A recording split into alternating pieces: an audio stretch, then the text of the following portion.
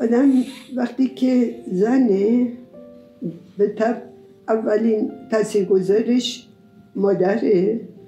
بعد میاد جامعه است تو چه جامعه زندگی می‌کنی؟ وقتی که جامعه رو نمیپذیری به طب تاثیراش هم نمیپذیری. پس می‌زنی. ولی وقتی خوشت اومد دیگه از هر گوشه اون تاثیر می‌گیری. ببینی زنای خیلی بزرگی تو دنیا بودن. از مادام کودی گرفته تا نمی‌دونم قبلا چه می‌دونم از روم با یونان باستان بیلیتیس و نمی‌دونم فله ولی تغییر زندگی با اینایی که از دور می‌شناسی نمیشه. هیچ وقت. من هیچ وقت جنسیتی به نه به زن نگاه کردم نه به مرد. من فکر می‌کنم وقتی که یه انسان اون انسانیت داشته باشه اون روش و رفتاریه که به برای یک انسان دیکته شده داشته باشه دیگه اون جنسیت همچین چیزی نیست مهم نیست. مطمئنا هزاران مردم بوده توی تاریخ هنر یا چی که من تاثیر گرفتم. ولی اون زنه که واقعا مسیر زندگی و آدم رو عوض می‌کنن چه زن باشه چه مرد خب این دفعه در حقیقت واقعا زنه. من شهناز بلده می‌رفتم کلاس نهمم بودم. بعدش خب بعد از نهم ما می‌رفتیم هر کی هر رشته ای می‌رفت دیگه. منم همیشه تو فکرم این بود که مثلا برم باستان شناسی بخونم خیلی دوست داشتم.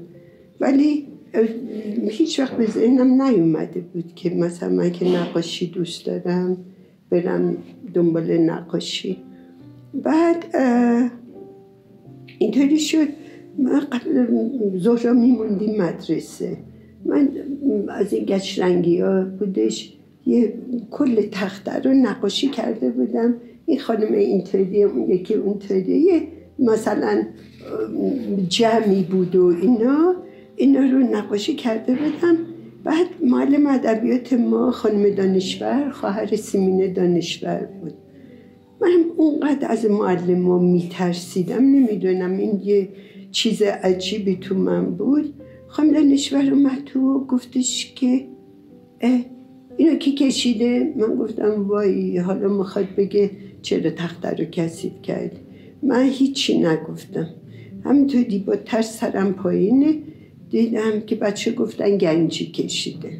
اون موقع به فامیلی صدا می‌زدن بچه هم دیگر. بعد خواندنش گفت بیا ببینم بیا ببینم. و تو خیلی استعداد دادی. خلاصه یادم نیست جریان چیه. من اومدم تو خونم و گفتم و خواهر بزرگم گفتش که آها خیلی اونم داشت گوش می‌کرد. گوش می‌کرد و دیگه گذشت. گذشت یه روزی خواهر بزرگم مثلا بچه اینا داشت خونشون جدا بود. اومد گفت پریوش یا ببین چیه؟ آگهی هنرستانه. مامانم گفت چی؟ گفت ماما هنرستانه که اینا. مامانم گفت که آخه برو درس بخون. تو که نقاشی داری می‌کنی برو درس. بعد خلاصه این مامانم مجاب شد پدر من خیلی میومد با ما چیز بود. مامانم یه ذره دیسیپلینه بود بعد دیگه هیچی. رفتم و این خانم دانشور هیچ وقت اون لحظه یعنی واقعا زندگی من عوض شد.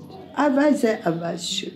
و از یه پایه من نمیگم از خود خانم دانشور ولی اونقدر این چی بگم این حس رو تو من به وجود آورد که من تصمیم زندگیمو گرفتم. واقعا مهمترین بود.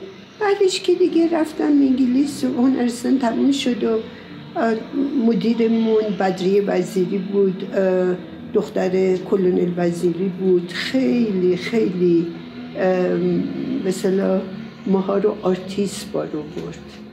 البته هر کی که جنبه شد داشت ولی واقعا بدری وزیری آرتیست ماها رو بار آورد. بعدش دیگه رفت و واقعا من اینطوری بگم که فلان آرتیست بزرگ یا آدم نمی‌دونم مثلا سیمون دوبوار تا اون قبل از اینکه من برم انگلیس سیمون دوبوار خونده بودم نمی‌دونم این خانمای نویسنده فرنگی رو خونده بودم. خیلی من کتاب میخوندم. ولی بگم زندگیمو عوض کرد نه.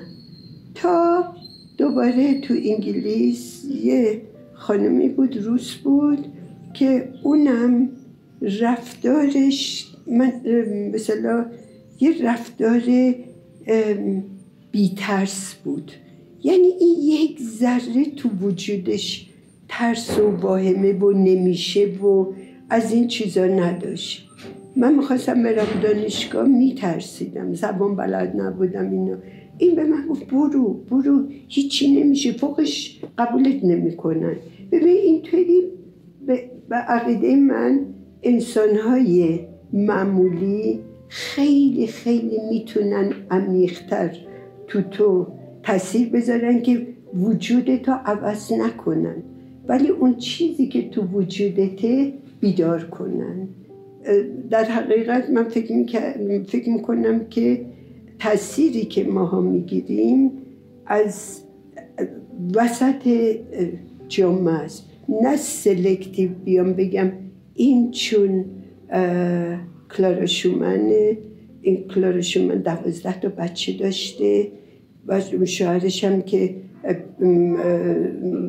پیانیست بوده composer بوده خودش پیانیست بوده با دوازده تا بچه پیانو می‌زده اصلا زندگی منو تغییر نداده ولی یه چیزای کوچیکی که turning point میگم بهش یه جایی که تو یه چهارراهی توی برخورد کوچیکی یه یه چرقه تو میاد که این خودش خیلی مهمه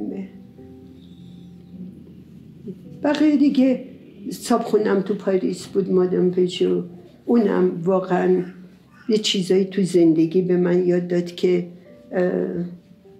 واقعا برام حیاتی بودش حیاتی بود.